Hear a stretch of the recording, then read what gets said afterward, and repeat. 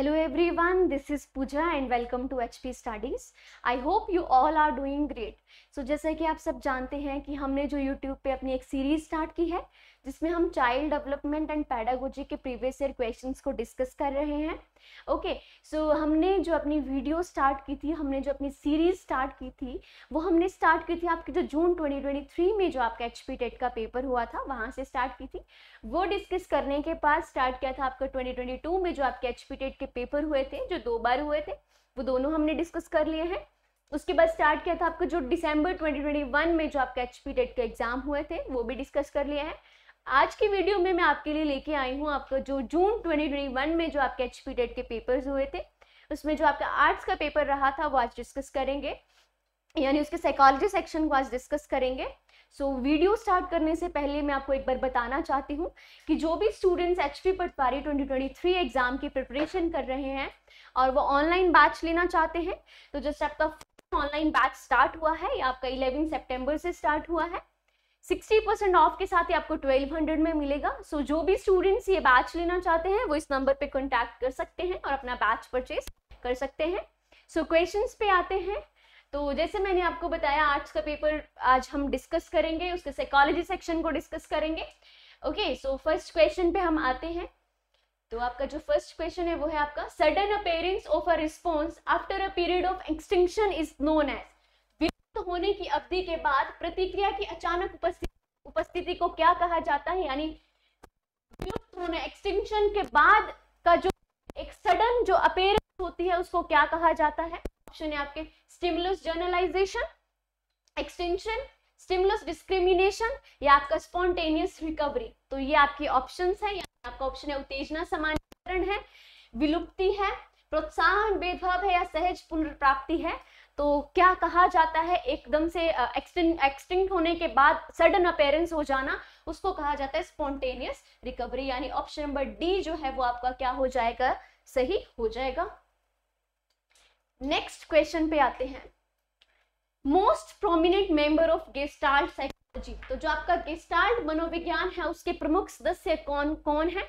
तो ऑप्शन है आपका कॉफ का है कर्ट कॉफ का है मैक्स वर्दिमर है कोहलर है या आपका ऑल ऑफ़ दीज ये सभी है तो कौन है आपके गेस्टाल साइकोलॉजिस्ट तो जो आपका, ये आपके ऑप्शंस हैं और आपका जो राइट right आंसर है वो रहेगा आपका ऑप्शन नंबर डी यानी आपके जो ऑल ऑफ़ दीज ये सभी जो हैं वो आपके क्या हैं? गेस्टाल साइकोलॉजिस्ट ठीक है? तीसरे क्वेश्चन है ही considered as a founder of progressive education and father of research in education तो इनको क्या कहा जाता है? प्रोग्रेसिव एजुकेशन के फाउंडर के रूप में इनको कहा जाता है और फादर कहा जाता है किसका? रिसर्च इन एजुकेशन इनको कहा जाता है थॉर्नडाइक को टर्मन को जोसेफ मेयर राइस को कहा जाता है या नन ऑफ़ दिस इनमें से किसी को भी नहीं कहा जाता है। तो जो आपका राइट right आंसर है वो रहेगा आपका ऑप्शन नंबर सी यानी जोसेफ मेयर राइस जो है उनको क्या जा, कहा जाता है? प्रोग्रेसिव एजुकेशन का फाउंडर कहा जाता है और फादर कहा जाता है किसका? Research education. तो ये था आपका क्वेश्चन नंबर थर्ड और इसका राइट right आंसर था आपका option number C fourth question पे आते हैं और जो आपका फोर्थ क्वेश्चन है वो है आपका for expressing ideas and asking question categories and concept of thinking is तो क्या है? लैंग्वेज है लॉजिकल रीजनिंग है प्राइवेट स्पीच है या नन ऑफ़ दीज है? यानी विचारों को व्यक्त करने और प्रश्न पूछने के लिए, सोचने के लिए श्रेणियाँ और इन अवधारणाएँ जो है, इनको क्या कहा जाता है? तो लैंग्वेज कहा जाता है लॉजिकल रीजनिंग प्राइवेट स्पीच या नन ऑफ़ दीज तो जो आपका राइट right आंसर है, वो है आपका ऑप्शन नंबर एक, यानी भाषा जो है, वो क्या हो जाएगा? आपका राइट right आंसर हो जाएगा। Fifth question in any type of learning gestalt laid great emphasis on role of यानी आपका किसी भी प्रकार की शिक्षा में गेस्टार ने निम्नलिखित में में पे भूम, किस भूमिका पर ज़्यादा ज़ोर दिया है? तो रिवार्ड एंड पुनिशमेंट पर ज़्यादा ज़ोर दिया है। पास्ट एक्सपीरियंसेस पॉजिटिव बिहेवियर या आपका motivation and defined goal and purpose तो ये आपके ऑप्शंस हैं। तो आपका जो राइट आंसर है जिसमें गेस्टार्ट है उन्होंने सबसे ज़्यादा एम्फेसिस किस पे दिया है? तो उन्होंने दिया है आपके ऑप्शन नंबर डी जो है आपका राइट यानी प्रेरणा और निश्चित लक्ष्य और उद्देश्य क्या क्या सबसे ज़्यादा ज़ोर दिया है? किसको लेके? लर्निंग को लेके। सिक्स क्वेश्चन है। In in experimental method we study the experimental method में हम चीज़ को स्टडी करते हैं? प्रायोगिक विधि में हम क्या अध्ययन करते हैं? इन्वायरमेंटल रिलेशनशिप विद इंडिविजुअल यानी आपके पर्यावरण का व्यक्तियों के साथ संबंध स्टडी करते हैं। कोज एंड इफ़ेक्ट रिलेशनशिप को स्टडी करते हैं, यानी कारण और प्रभाव संबंध। रिलायबिलिटी एंड वैलिडिटी को हम स्टडी करते हैं, विश्वसनीयता और वैधता। या आपका नन ऑफ़ दिस हम किसी को भी स्टडी नहीं करते हैं। तो एक्सपेरिमेंटल जो मेथड है, उसमें हम स्टडी करते हैं आपका कॉज एंड इफ़ेक्ट यानी ऑप्शन नंबर बी जो है, कारण और प्रभाव संबंध जो है, वो क्या हो जाएगा आपका राइट right आंसर हो जाएगा। सेवेंथ क्वेश्चन है री इज़ सुदृढ़ीकरण क्या है? एन इवेंट दैट स्ट्रेंथन और increase responses something that individual find pleasant anything that decreases और रिस्पॉन्स और एन इंसेंटिव तो क्या है आपका री एनफोर्समेंट तो ऑप्शन है आपके एक घटना जो प्रतिक्रिया को मज़बूत या मज़बूत करती है कुछ ऐसे जो व्यक्तियों को सुखद लगते हैं या कुछ कुछ भी जो प्रतिक्रिया करने को कम करता है या एक प्रोत्साहन तो क्या है एक रेनफोर्समेंट तो आपका जो राइट आंसर वो हो जाएगा, वो हो जाएगा आपका ऑप्शन नंबर ए यानी एन इवेंट दैट स्ट्रेंथन और इंक्रीज रिस्पॉन्स यानी री हम कब देखते हैं? बच्चों को जब बच्चे को कुछ सिखाया जाता है, उसके बाद उससे जो सिखाया गया है, उस पर उससे क्वेश्चन किए जाते हैं। तो वो क्या करता है, जो उसको बच्चों को स्ट्रेंथन करता है और इंक्रीज करता है, उनके किसको? रिस्पॉन्स को इंक्रीज करता है। एट्थ क्वेश्चन पे आते हैं। तो प्याजे called children self directed talk as यानी प्याजे ने बच्चों को स्वनिर्देशित बातचीत कहा है। क्या कहा है? Private speech egocentric speech self talk या नन ऑफ़ दिस इनमें से कुछ भी नहीं कहा है। तो प्याजे ने बच्चों को एक जो सेल्फ डायरेक्टेड टॉक है, उसको क्या कहा जब खुद से बातचीत करते से जब वो बात करते हैं तो उसने बच्चों प्याजे ने उसको क्या कहा है? तो प्याजे ने कहा है उसे सेल्फ सेंट्रिक स्पीच यानी ऑप्शन नंबर बी जो है वो राइट आंसर हो जाएगा। So question number ninth है। Educational psychology processes a well-organized, systematic body of fact which is supported by, यानी शैक्षणिक मनोविज्ञान तथ्यों के एक सुव्यवस्थित समूह को संसाधित करता है, किसके द्वारा स्थित है। तो biological laws and principles laws and principles of nature psychological laws and principle या नन ऑफ़ दीज तो क्या आपका राइट right आंसर हो जाएगा? तो आपका जो राइट right आंसर है वो आपका ऑप्शन नंबर सी यानी जो आपका मनोवैज्ञानिक कानून और सिद्धांत है वो आपका क्या है? राइट right आंसर हो जाएगा। टेंथ क्वेश्चन है। According to Vygotsky cognitive development depends on तो वाइगोस्की अनुसार जो आपकी संज्ञा विकास है वो किस पर निर्भर करता है? इन्वायरमेंटल प्रोसेसेस पर निर्भर करता है, ये आपकी मेंटल मेचोरिटी पे निर्भर करता है सोशल इंटरेक्शन पे निर्भर करता है, आपकी जेनेटिक्स पे निर्भर करता है। तो आपके ऑप्शंस हैं और जो आपका राइट right आंसर हो जाएगा, वो होगा होगा ऑप्शन नंबर सी वाइगोस वाइगोस्की के अनुसार जो बच्चे की कॉग्निटिव डेवलपमेंट होती है, वो डिपेंड होती है किस पे? सोसाइटी पे, यानी सोशल इंटरेक्शन पे बच्चे की क्या होती है डेवलप जो कॉग्निटिव डेवलपमेंट है, वो क्या करती है डिपेंड करती है। इलेवेंथ क्वेश्चन है साइकोलॉजी में best be described as the scientific study of तो डैश एंड डैश यानी मनोविज्ञान को सर्वोत्तम रूप से डैश और डैश के वैज्ञानिक अध्ययन के रूप में वर्णित किया जाता है। मेंटल स्टेट और physical state thoughts and emotions behaviour and mental processes या आपके मेंटल हेल्थ और मेंटल इलनेस तो किससे आप साइकोलॉजी को बेस्ट डिस्क्राइब कर सकते हैं किसी उसकी साइंटिफिक स्टडी के लिए तो कैसे आप डिस्क्राइब करेंगे? तो आपका जो राइट आंसर होगा, वो होगा आपका ऑप्शन नंबर सी यानी व्यवहार और मानसिक प्रक्रियाओं से हम क्या कर सकते हैं, उसकी साइंटिफिक स्टडी को डिस्क्राइब कर सकते हैं, यानी बिहेवियर और मेंटल प्रोसेस होगा, क्या होगा आपका राइट आंसर हो जाएगा क्वेश्चन नंबर इलेवन का। ट्वेल्थ क्वेश्चन है।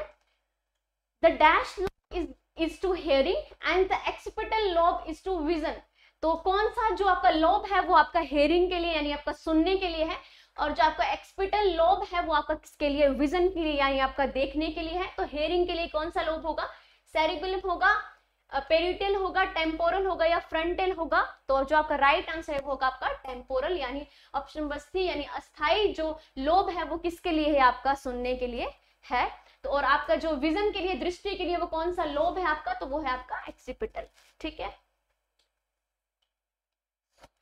थर्टीन क्वेश्चन पे आते हैं। Reflexes are usually control by the जो आपके रिफ्लेक्सेस हैं, वो आमतौर पर नियंत्रित होती हैं।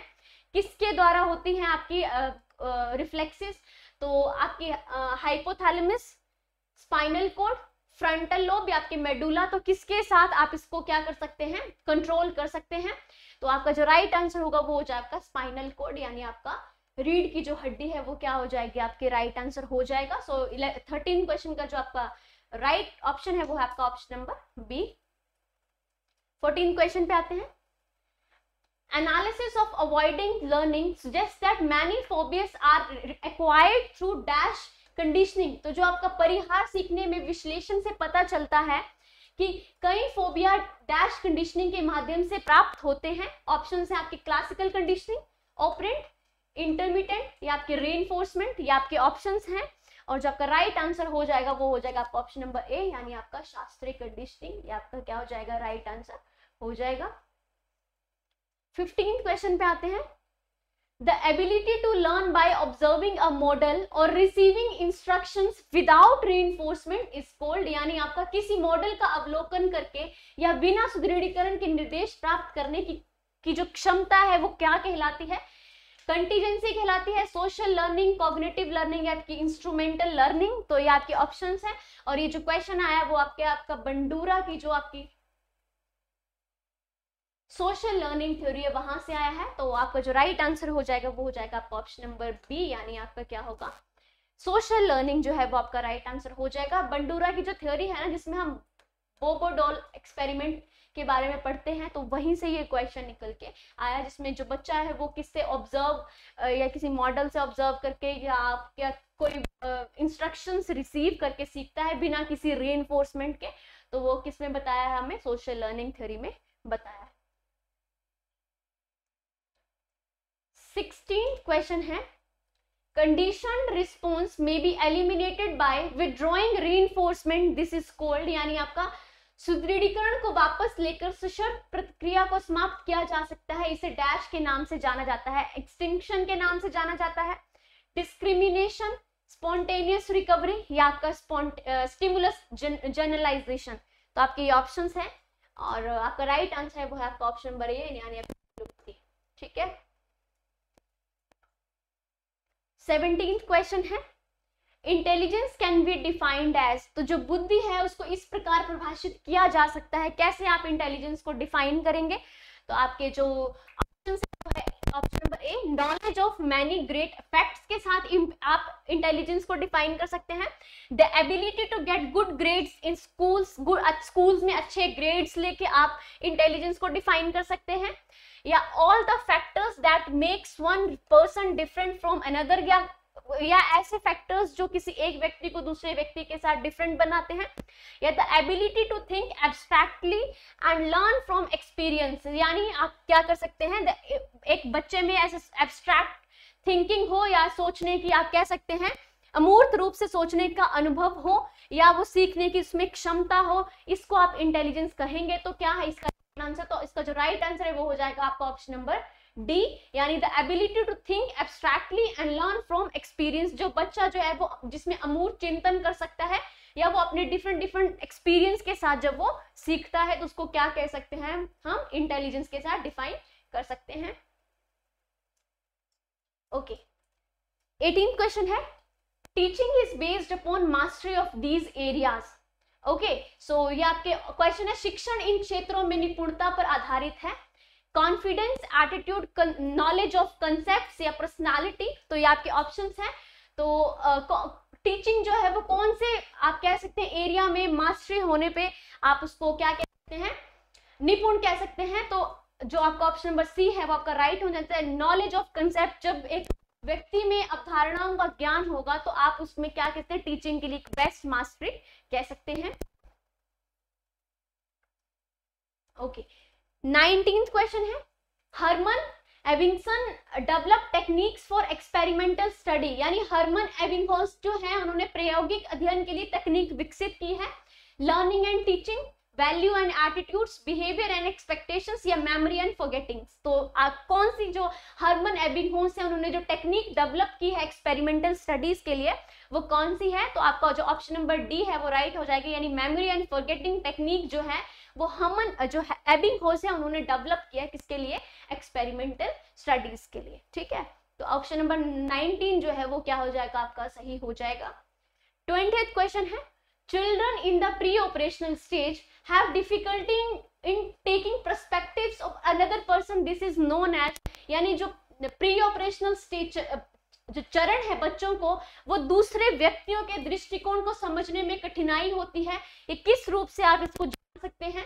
रिवर्सिबिलिटी इगोसेंट्रिज्म एनिमिज्म या आपके कंस्ट्रक्टिविज्म तो आपका जो राइट right आंसर हो जाएगा, जिसमें जो प्री ऑपरेशन स्टेज होती है, उसमें बच्चे को दूसरे दूसरे व्यक्ति के जो प्रस्पेक्टिव्स हैं, उनको समझने में क्या होती है? डिफिकल्टी होती है तो उसको कहा जाता है इकोसेंट्रिज्म यानी जो आपका ऑप्शन नंबर बी है, वो क्या हो जाएगा? आपका हो जाएगा, इसको अहम केंद्रितवाद कहते हैं।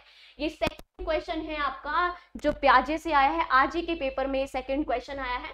सो प्याजे को आपने अच्छे से करना है, मैं हर बार कहती हूँ। सो नेक्स्ट क्वेश्चन है।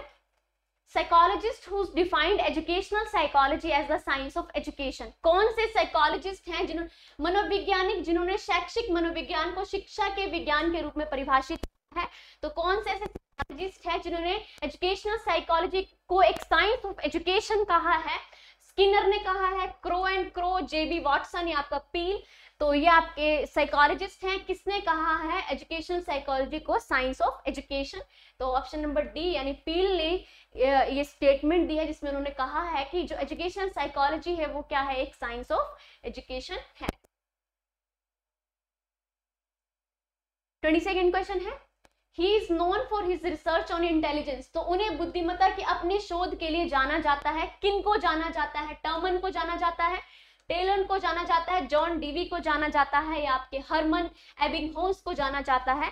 तो आपका जो राइट आंसर होगा वो हो जाएगा टर्मन, जिन्होंने आपका आपके आईक्यू के बारे में भी बताया है। आईक्यू पे उन्होंने टेस्ट की बात की है। तो जब भी हम आईक्यू के बारे में पढ़ते हैं, इंटेलिजेंस के बारे में पढ़ते हैं तो उन्हें क्या कहा जाता है रिसर्च के एरिया में, के रूप में इंटेलिजेंस में, यानी इंटेलिजेंस की रिसर्च में उन्हें सबसे ऊपर रखा जाता है। तो आपका जो राइट आंसर है वो हो जाएगा लुइस टर्मन। ठीक है?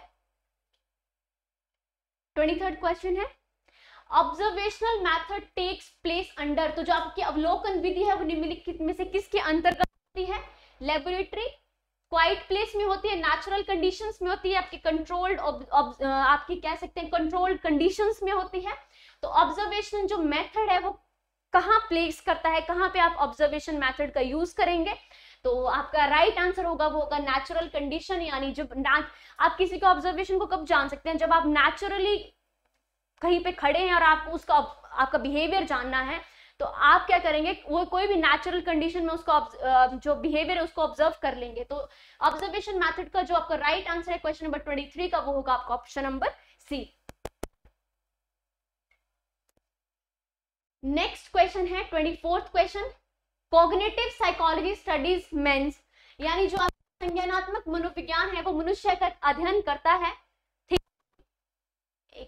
थिंकिंग मेमोरी लैंग्वेज पे परसेप्शन इमेजिनरी पे या ऑल ऑफ़ दीज पे तो कॉग्निटिव की जो कॉग्निटिव साइकोलॉजी है वो व्यक्ति के अध्ययन करती है किस पे? थिंकिंग पे मेमोरी लैंग्वेज पे परसेप्शन इमेजिनरी पे या ऑल ऑफ़ दीज पे तो आपका जो राइट right आंसर है वो हो जाएगा आपका ऑप्शन नंबर डी यानी इन ती, तीनों पे आपकी कॉग्निटिव साइकोलॉजी क्या करती है? स्टडी करती है।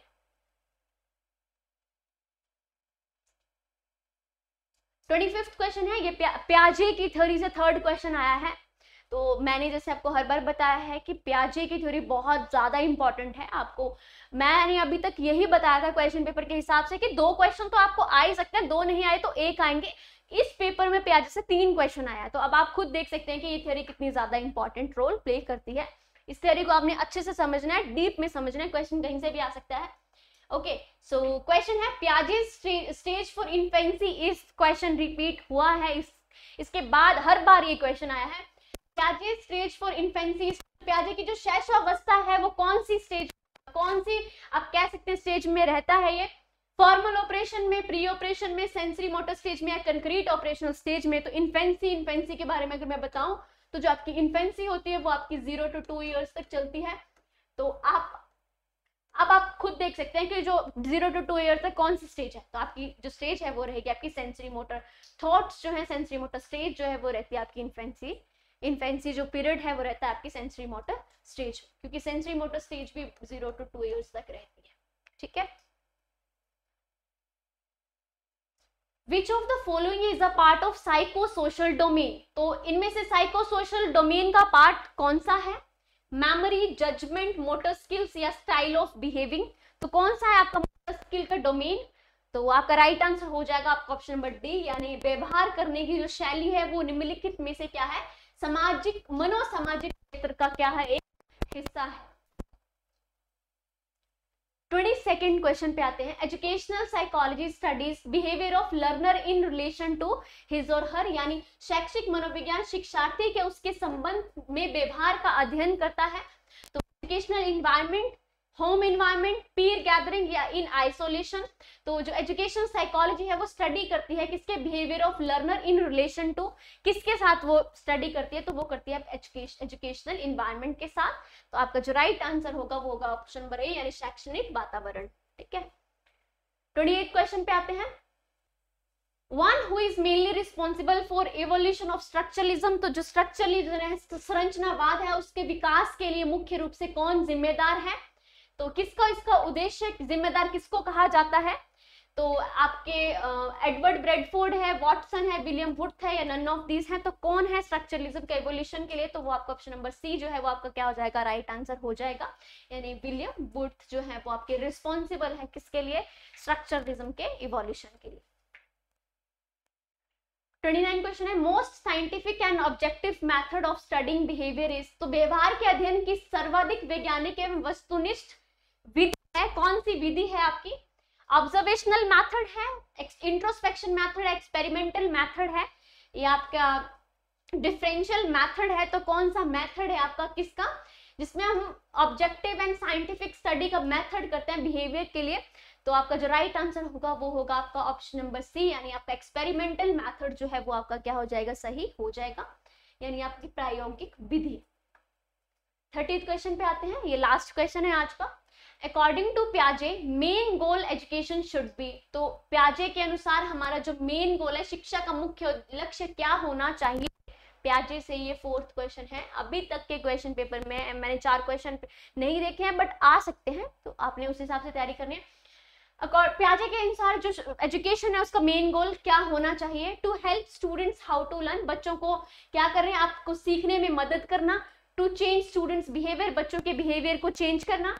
To adjust the students with his environment बच्चों को जो उनका इन्वायरमेंट है, उसमें एडजस्ट करने के लिए उनको समायोजित करना to bring change in students attitude जो स्टूडेंट्स का एटीट्यूड है, उसमें क्या करना चेंज लेके आना, उनके दृष्टिकोण में परिवर्तन लेके आना तो आपका राइट आंसर है, वो हो जाएगा आपका ऑप्शन नंबर ए यानी बच्चों को हेल्प करना, कि स्टूडेंट को हेल्प करना, कि वो, कि कैसे लर्न कर सकते हैं। बच्चे के छात्रों को सीखने में क्या करनी है, उनकी मदद करनी है। आपके आज तक के क्वेश्चंस थर्टी क्वेश्चन सो मिलेंगे बहुत ही जल्द अगली वीडियो के साथ। तब तक मैंने जो आपको थ्योरीज बताई है, इसमें आपने वो नोट डाउन करनी है। प्याजे की थ्योरी में बहुत क्वेश्चन आए हैं। आपका बिहेवियरिज्म स्ट्रक्चरलिज्म आपके ऑब्जर्वेशन मैथड एक्सपेरिमेंटल मैथड से क्वेश्चन आए हैं। आपके इंट्रोस्पेक्शन मैथड से क्वेश्चन आए हैं। तो ये जो मैथड्स हैं, इसमें भर भर के क्वेश्चन पूछे हैं मैथड से। तो पैडागोजी को आपने अच्छे से पढ़ना है, जिसमें आपके आपके मैथड्स के बारे में पढ़ते हैं हम। तो ये बहुत ज़्यादा इंपॉर्टेंट है आपके क्लासिकल कंडीशनिंग से क्वेश्चन पूछा आपको ऑपरेंट कंडीशनिंग से आपको ऑप्शंस आए थे आपके इंटेलिजेंस से क्वेश्चन आए थे तो इस तरह से क्वेश्चन रहे हैं पैडागोज के क्वेश्चन बहुत आए हैं तो आपने वो अच्छे से समझने हैं, उनको नोट डाउन करना है। तो मिलेंगे आप बहुत ही जल्द आपको अगली वीडियो के साथ, तब तक के लिए धन्यवाद।